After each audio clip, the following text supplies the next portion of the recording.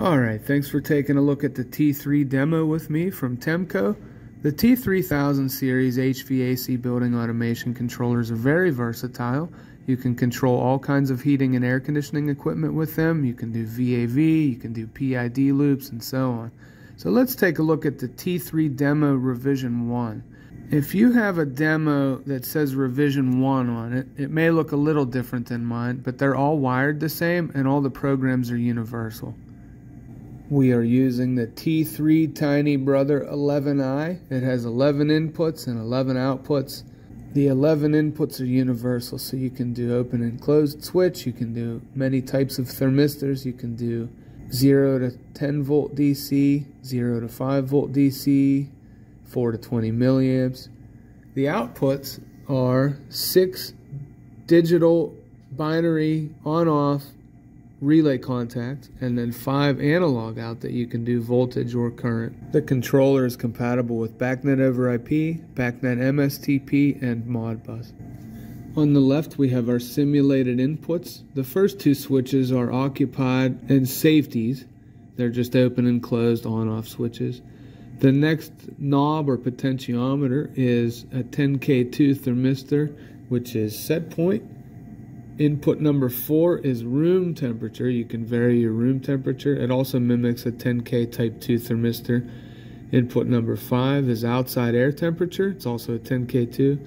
Input number six is carbon dioxide. That's reading a 0 to 10 volt signal, or simulating a 0 to 10 volt signal, but it's really reading from a Temco 0 to 3000 parts per million transmitter or sensor. So I'll show you how to set that up in the tables. And then input seven is the damper position. The outside, the outdoor fresh air damper actuator is zero to 10 volt signal, and it's going to tell us whether the damper is 0%, if it's halfway open, if it's all the way open. It's going to give us a 0 to 10 volt signal that represents 0 to 100% open position. On the right, we have five relay outputs that are just going to bring on heating and air conditioning equipment. They're, they're dry contacts, so you'd get the 24 volts from the rooftop or package unit, whatever you're running, and you would engage first and second stage cooling, the fan, the you know the blower fan, indoor blower, and then first and second stage heat. And then the last output we have here is the analog. The analog one is really output seven is the outside fresh air damper, 0 to 10 volts, meaning 0 to 100% position. And the last output, output 11, which is analog out 5, we're just going to turn it on 10 volts DC to power our displays. On a computer network, the first three numbers are what network you're on, and the last number is your IP address for that device. So if you plug your computer directly into the Ethernet port on the controller with an Ethernet cable, it'll show you what your device's IP address is and what the controller's IP address is. And if you match them and put the controller on whatever network you want to be on, then it'll be easier to find it once it's on the network. So we've downloaded and installed the T3000 software. So let's open up our controller and take a look. We're going to click our controller, click output, go to output 11, I'm going to switch it to manual going to change the range to 0 to 10 volts DC. And then we're going to type in 10 volts DC. And then we're going to watch our damper displays light up. Now we know that we are connected to this controller and the controller is working. Alright, next we're going to label our inputs. So we'll click Inputs. Input 1 is occupied, unoccupied. So we'll name it full label pick occupy and occupy.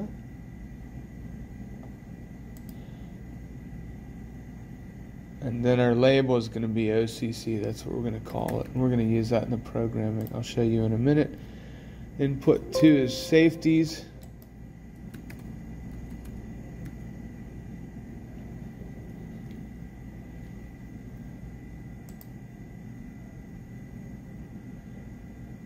And that's an open and close input. And we're going to name it SAFT.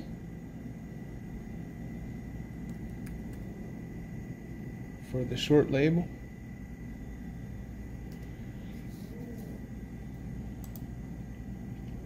Input 3 is room set point.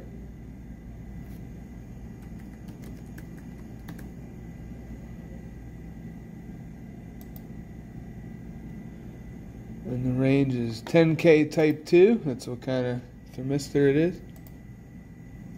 Or would be if it was real. It's a simulated thermistor input. We're going to name that SETP.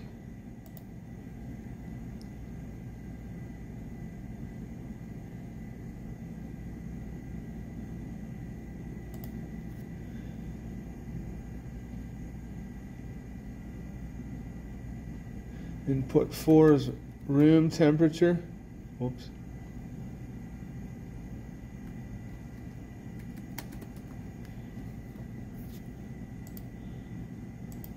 Whoops, I gotta go back to input 3, input room, uh, set point, make it degrees Fahrenheit.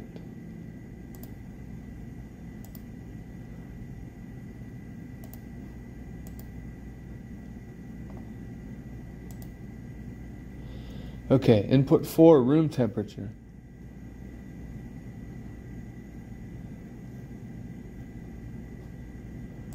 Degrees Fahrenheit, 10K type 2. And my label for this is room.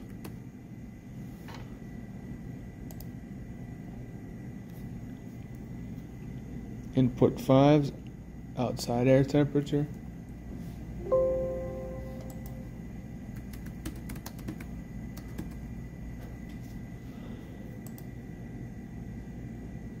Ten K type two Fahrenheit.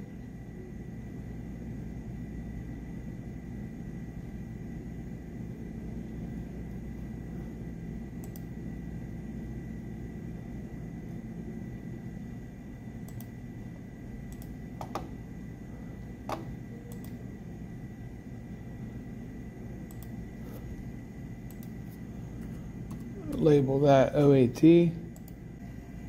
Input 6.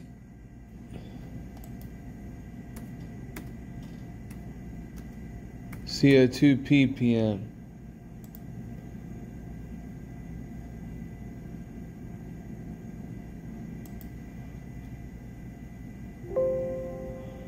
To use a table.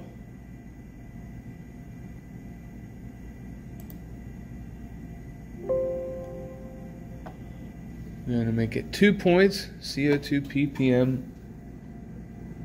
Zero volts is zero ppm, and 10 volts is 3000 ppm. And then we need to change this to zero to 10 volts. Click apply. It should make two points in a chart with a straight line.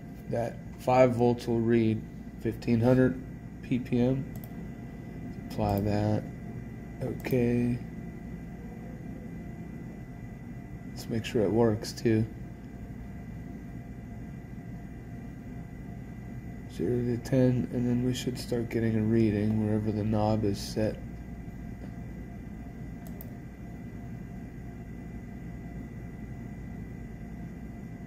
And then we're going to name that, C label that CO2. Input 7, that's our damper position.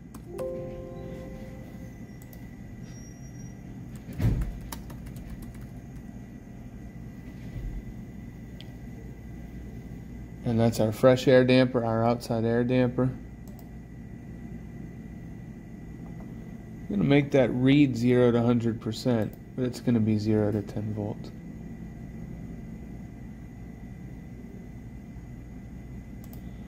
So if the damper actually opens or moves, it's going to give us feedback for its position. So if we're sending a volt, the damper 5 volts, it should be halfway open and it's not feeding back any movement, then we know it's stuck or broken. Input 7, we're going to name that DPOS.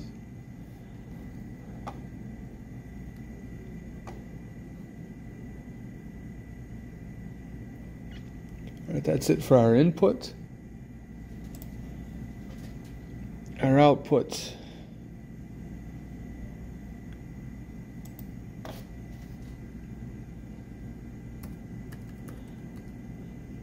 Digital out 1 or output 1. It's cooling stage 2. It's on off. We're going to label it Y2. Out 2's cooling stage 1.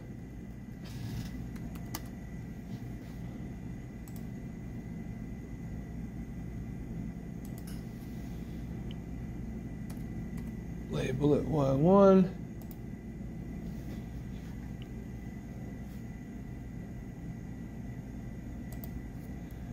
three's fan. And label it fan. Uh, four's heat stage one. I'm gonna name it our W1 terminal.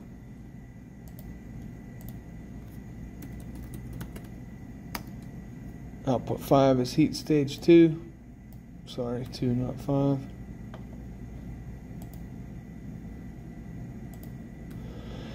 I'm going to name it W2. That's it for our digital outputs, our relay outputs. Out, output 7 is really analog 1, so that's going to be outside air.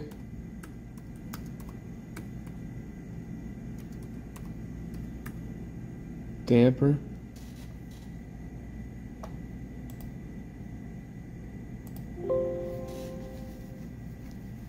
I'm going to make that 0 to 100, 0 to 10 volts.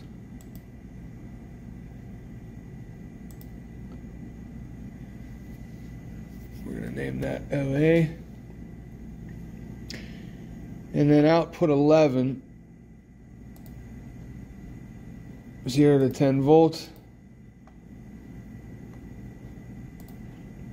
And we're going to name that 10 volts DC. I wrote a quick program and called it output test, and this is in control basic language. There's a good bit about this in the software manual.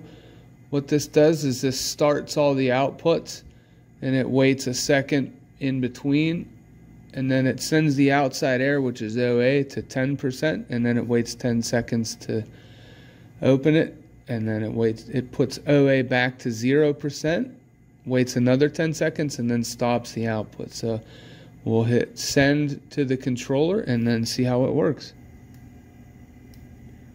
Okay. Our outputs are starting. Oh, our damper is opening. It's sending one volt, which is 10%, and it's going up towards 10%, up towards one volt. That's our feedback position. Okay, went back to zero. Now it's closing again. You can see the damper closing and then our output should stop. Great success.